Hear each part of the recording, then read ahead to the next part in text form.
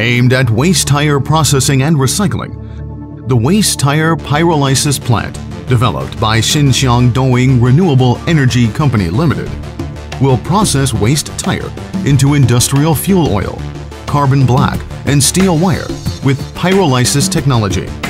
The high-tech recycling technology obtained great economic and social benefit and becomes a great discovery in the worldwide energy renewal.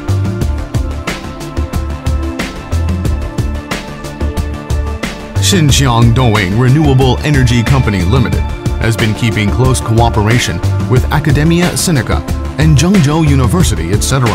The process is as follows. Put 10 tons waste tire into reactor after necessary decontamination processing and simple cutting. Then close the door. Heat the reactor with wood, coal, oil, or gas.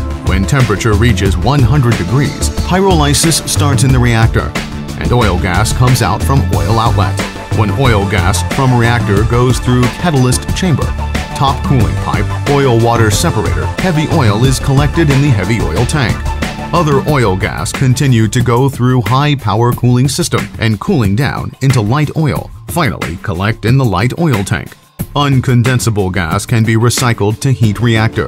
When all the oil gas is extracted out, only crude carbon black and steel wire left in the reactor. After reactor cooling down, carbon black and steel wire slagging out automatically. Steel wire can be sold directly in the market. After process with a magnetic separator, carbon black mix with organic chemical adhesive can be used to make coal briquette.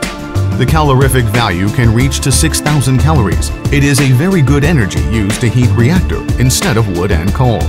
The innovation point of this project is that the application of pyrolysis technology accelerated waste tire process, realized industrialization of waste tire processing,